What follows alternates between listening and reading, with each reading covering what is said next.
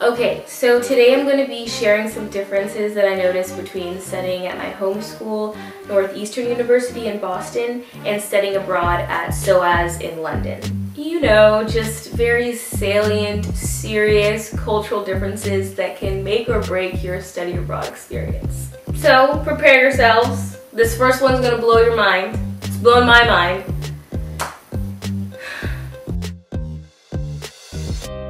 Instead of saying course for classes, they say module. Like instead of taking four classes in a semester, you're taking four modules. How insane is that? Course, module, module, course. Can't keep track of it. Number two, even crazier. More insane than the last. What we call at Northeastern a semester, they call it SOAS, a term. Yeah, Northeastern, you have the fall semester, spring semester, and then the two summers. And then SOAS there's a fall term, a spring term that ends like at the ends of March, and then there's like a testing term all summer. Now you know.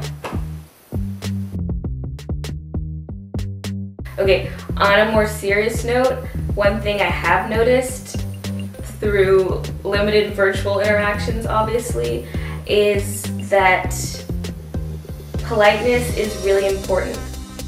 And I was starting to ramble here, but essentially what I was trying to say is that based off of the interactions that I've had at SOAS so far, I've noticed that politeness and manners are highly valued.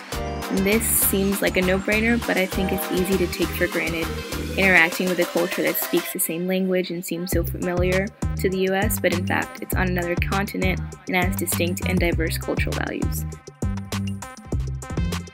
Number four is super important.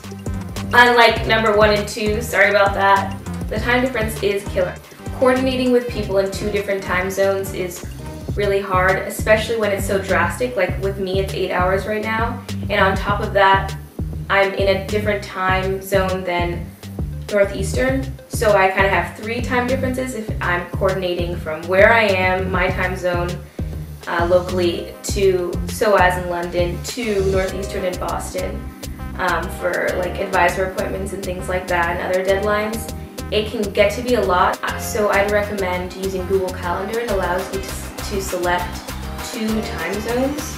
Um, so I always, whenever I make a, an appointment or I'm checking my schedule, I'm double checking those times at the same time and I'm not like going back and forth Googling um, what time is it in London right now, what time is it in here right now, it's, it's just too much.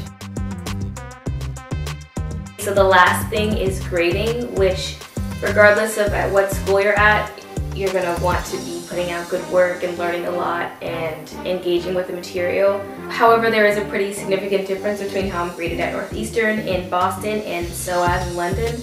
So at Northeastern and really all US schools, I suppose we have the 90s range are A's, which is very good work. 80s range are B's, which is good work. 70s range are C's, which is satisfactory. Then you go down to 60s, which is like I don't know, not satisfactory, and then 50 and below is fail, I'd say, or 16 below is fail. But the SOAS grading, I've noticed it's in classes. So 80 and above is first class, which is like great, I suppose. And then 70s is also first class, but not as good as 80s. And then 60s is upper second class and 50s is second class and it just goes down like that. I don't totally get it at this point because I haven't had any graded assignments, but I will keep you posted if I figure it out. I hope that was somewhat helpful. Um, study abroad is awesome. It's one of the reasons why I applied to Northeastern because it's so encouraged there. Thanks for watching.